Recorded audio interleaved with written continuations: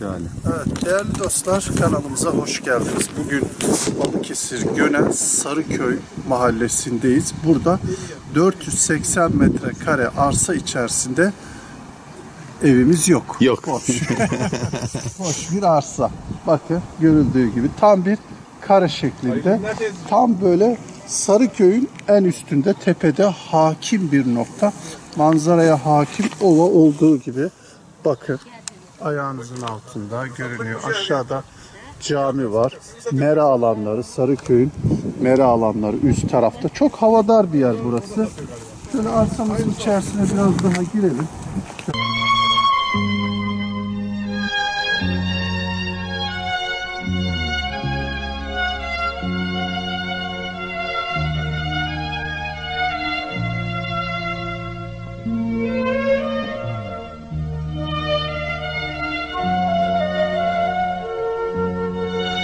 Dilimde sabah keyfiyle yeni bir umut türküsü. Kar yağmış dağlara bozulmamış ütüsü. Rahvan atlar gibi ırgalanan gökyüzü. Gözlerimi kamaştırsa da geleceğim sana. Şimdilik bağlayıcı bir takvim sorma bana. Ihlamurlar çiçek açtığı zaman Ay şafağa yakın bir mum gibi erimeden Dağlar çivilendikleri yerde çürümeden Bebekler hayta hayta yürümeden Geleceğim diyorum, geleceğim sana. Ne olur kesin bir takvim sorma bana ıhlamurlar çiçek açtığı zaman beklesen de olur beklemesen de ben bir gök kuruşum sırmalı kesende gecesi uzun süren karlar buzlar ülkesince hangi ses yürekten çağırırsa beni sana geleceğim diyorum takvim sorma bana. Arsamızın özelliği bu kısımlarının taş olması.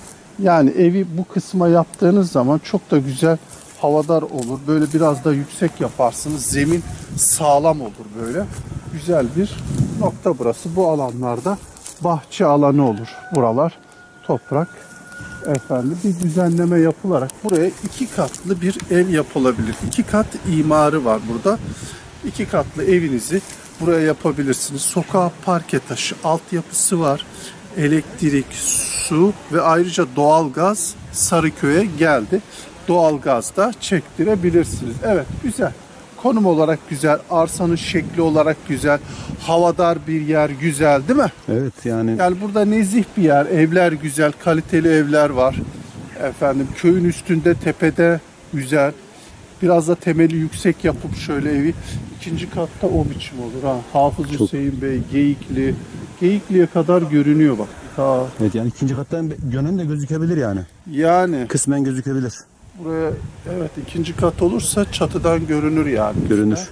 Görünür. Çok da güzel. Evet.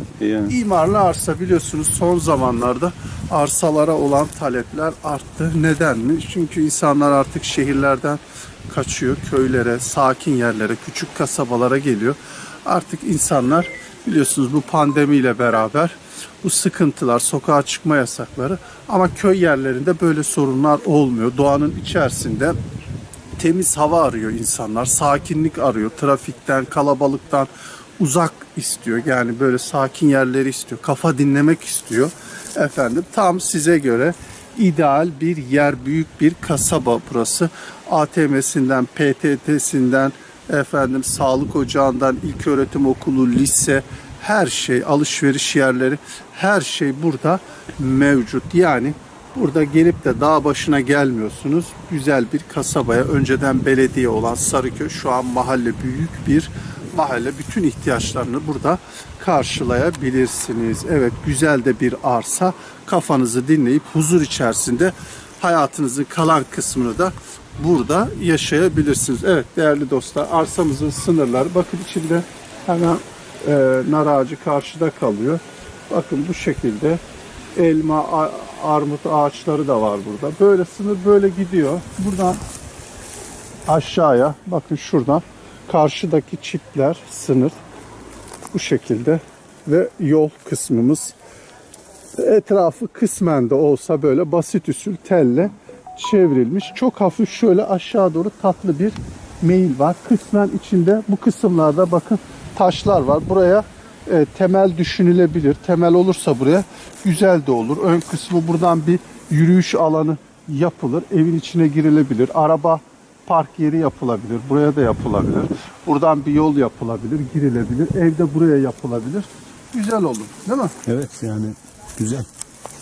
Kısmen şurada taşlar var. Şuraya biraz toprak atılıp burada bir tesviye yapılabilir. Biraz daha şu kısım yükseltilebilir gerekirse. Gerekirse de böyle hafif tatlı bir meyil kalabilir. Evet. Toprağı da güzel. Bakalım buranın sahibi kim olacak? Bu arsanın 480 yani yeterince de ideal yani değil mi? Evet. Arsanın büyüklüğü de ideal. Böyle 300 değil 200 değil efendim. 480 yani hemen hemen 500 metrekare tam ideal bir arsa. Yanında da bakın güzel bir ev var. Burada oturuyorlar sürekli. Güzel de yeni de yapmışlar montalama. Güzel bir bahçe. Efendim sokağı tertemiz, parke taşlı bir yer. Evet değerli dostlar burası nasip olursa bizim tarafımızdan Bak işte notalar karıştı, ezgiler muhalif, hava kurşun gibi ağır, yağmursa arsız.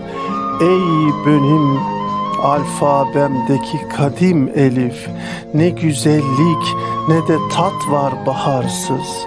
Güzellikleri yaşamak için geleceğim sana, geleceğim diyorum.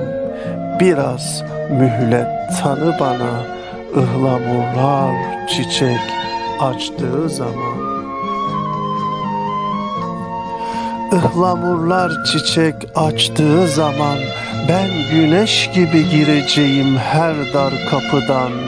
Kimseye uğramam ben sana uğramadan. Kavlime sadığım, sadığım sana. Takvim sorup hudut çizdirme bana. Ben sana çiçeklerle geleceğim. Ihlamurlar çiçek açtığı zaman.